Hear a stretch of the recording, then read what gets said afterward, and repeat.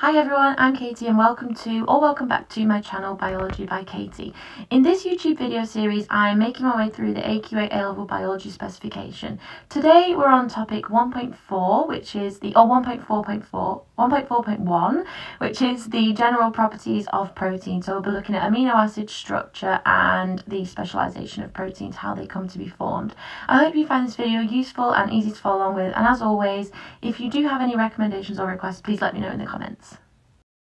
In today's topic, we are taking a look at proteins. Proteins are one of the four organic polymers that make up the entire biochemical basis of living organisms. So they are included in that group that is consisting of proteins, lipids, carbohydrates, and nucleic acids.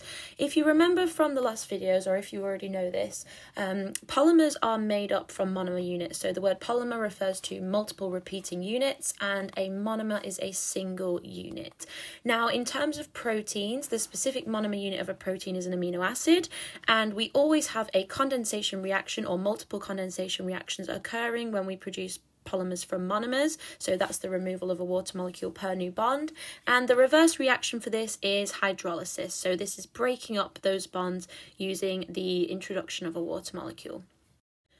The first thing that we have to know and have to be familiar with in the A level syllabus, and this topic specifically, is the general structure of the amino acids. So, the general structure of the monomer unit that makes up proteins.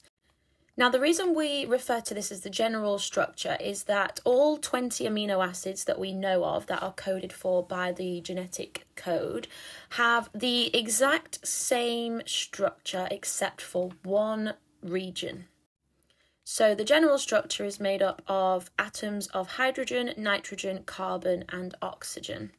And first of all, at the top, we have this group here called the amine group. So the amine group is the NH2 group, and that contributes to the amino part of the amino acid name. So the amine group is the NH2 at the top there, one nitrogen and two hydrogens.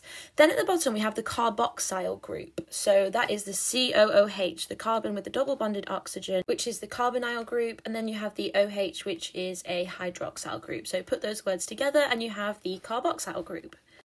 Now the next region of the general structure is the R, the labelled R. So this is the variable side chain and we call it that because each of the amino acids that we know of, so all 20, has a different side chain. So they can come in all different um, variations. We can have hydrophobic, hydrophilic, charged side chains, things like that. So the R group is the one part of the amino acid that varies between the different ones. Right, next we're going to look at forming a dipeptide. Now, di is a word that you might be familiar with from looking at other biological molecules such as disaccharide. Um, so, di is the Greek prefix for two, and then that term peptide refers to when we have two or more amino acids. So, here we have two separate amino acids there, one at the top and one at the bottom, and they are orientated so that we have the amine group of amino acid 2 facing the carboxyl group of amino acid 1.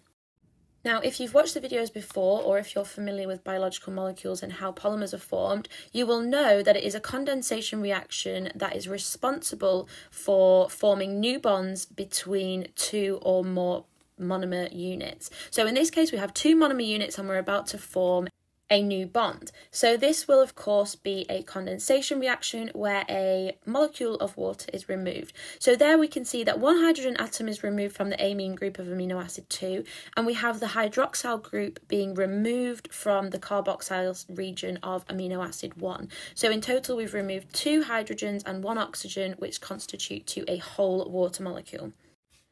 Around the region where the water molecule was removed from, we will of course be having a new bond being formed. Now, in case of a protein, that specific bond is called a peptide bond. So when we think about the fact that here we've got two amino acids joined together by a peptide bond, we call this structure a dipeptide, meaning two amino acids chemically joined together by this new bond. So the new peptide bond will form between the second carbon in the amino acid 1 and the nitrogen from the amine group of amino acid 2.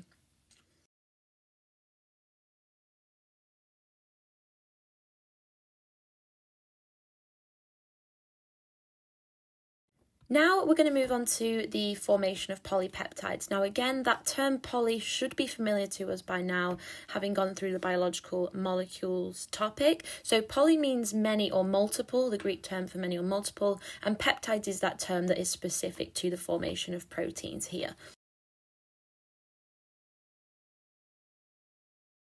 So, what this term refers to is simply the joining of more than two, because in the case of two we have a dipeptide, so three or more amino acids joined together by peptide bonds, and you will have a polypeptide chain. So here we have four amino acids joined together, three peptide bonds formed, and we will of course have three molecules of water being removed due to three condensation reactions having taken place. The unique sequence of amino acids, so how they join together, which ones appear in which order in the polypeptide chain, is determined by the genetic code. So the DNA is read and the amino acid sequence is assembled accordingly. This sequence, this unique sequence of amino acids that we end up with, in turn forms the what we call the primary structure of a protein. So this is the simplest level of protein structure consisting of the specific order of amino acids. So the primary protein structure for proteins will be different each time. So one protein might have a certain order of amino acids while a different protein has a different order of amino acids. And again, this is all coded for by the unique genetic code. Once the polypeptide chain and therefore the primary protein structure has been finalised, the proteins will move on to form a secondary structure. The reason for this is once the amino acids have taken part in peptide bonding, their structure is slightly altered due to the loss of either a hydrogen atom or a hydroxyl group. So when we look at the amino acid 1 in the example that we went through just before, the oxygen atom at the carb where the carboxyl group was is has a an overall negative charge. So it doesn't become an ionized, it's not an ion, but it has an overall negative charge. So we call this a negatively charged region. And on the other hand, with the amine group, or what was the amine group of amino acid 2, we have an overall positive charge at the hydrogen atom there. So we have a positively charged region. So we use this symbol here to represent partial charge. So in this case, it's not an ionized molecule, but it has a partial charge. So we have that partial negative charge around the oxygen atom, and we have the partial positive charge at the hydrogen atom. And as a consequence, we have this weak electrostatic force of attraction forming between the oppositely charged regions. And we call this type of electrostatic attraction a hydrogen bond or hydrogen bonding. So, in a long sequence polypeptide chain, the positively charged hydrogen atom interacts with the negatively charged oxygen atom in this way.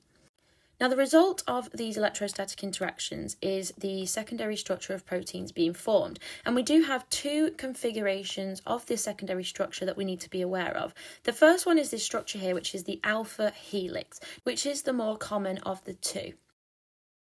The alpha helix is formed as a result of hydrogen bonds occurring between the NH group, or the positively charged hydrogen, interacting or forming electrostatic forces with the negatively charged oxygen atom four residues away, so four amino acids prior. As a result of this, the polypeptide chain is pulled into this unique helical structure that has a turn once every just under four amino acids. The next secondary structure configuration is the beta pleated sheet. So the beta pleated sheet is quite different to the alpha helix in the sense that this occurs when the polypeptide chain turns quite sharply and forms these parallel beta strands. Now, hydrogen bonding then takes place between the parallel strands to form this sheet like structure. Because the hydrogen bonding is occurring between parallel strands, this beta pleated sheet configuration cannot exist as a single strand structure. Once our polypeptide chain has folded into either an alpha helix or a beta pleated sheet, it can then move on to form the next stage, which is the tertiary structure. The tertiary structure refers to the overall 3D structure that a protein is going to adopt. So the tertiary structure represents the overall twisting and folding of the polypeptide chains into their final shape, and it gives way for two major 3D configurations, which are globular and fibrous. As this is quite a complex stage in the overall production of proteins, it involves a number of different bonding types. So we've already been introduced to hydrogen bonding, which occurred to pull together the secondary structure in either the alpha helix or the beta pleated sheet. So the hydrogen bonding occurred between positive and negatively charged regions of the amino acid. So we will of course have a lot of hydrogen bonding at play here. Another type of bonding that we have is disulfide bridges. Now this is a form of covalent bonding, so where we have electron sharing occurring between atoms. The reason why we call it disulfide is because this interaction happens specifically between two sulfur atoms at the end of two cysteine amino acids. So this type of bonding only occurs between two cysteine amino acids specifically. So what happens is the two sulfur atoms will share electrons in attempt to become more stable and therefore we will have a covalent bond formed which we refer to as a disulfide bridge. Next up we have the presence of ionic bonding. Some of the amino acid chains can form positive or negatively charged ions, so they can become ionized, so they either lose or gain an electron. In this case, we have ions that will then interact with each other and form a different type of electrostatic attraction called ionic bonds.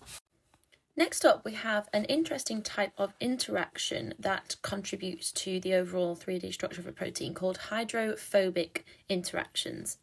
You might remember from when we looked at lipids, or something that you already know, is that the hydrocarbon chains, when we look at fatty acids, are hydrophobic, and that is what causes them to form the phospholipid bilayer, the unique structure of the cell membrane. Similar sort of thing going on here. So we have hydrophobic hydrocarbon chains that don't want to interact with the water around them. So they face each other and interact with each other in order to sort of expel water molecules. Finally, now we're going to move on to look at the quaternary structure of proteins. So not all proteins do have a quaternary structure. Some of them stop at tertiary because the quaternary structure actually refers to the interaction of multiple polypeptide chains. So two or more polypeptide chains tightly arranged together. Now, a really good example of a well known protein that does have a quaternary structure is hemoglobin, so the oxygen carrying molecule inside red blood cells. So hemoglobin proteins are made up of four polypeptide chains. We have two alpha chains and two beta chains. And each of those polypeptide chains is also associated with a non-protein element called a heme group, which has a ferrous ion responsible for loading oxygen.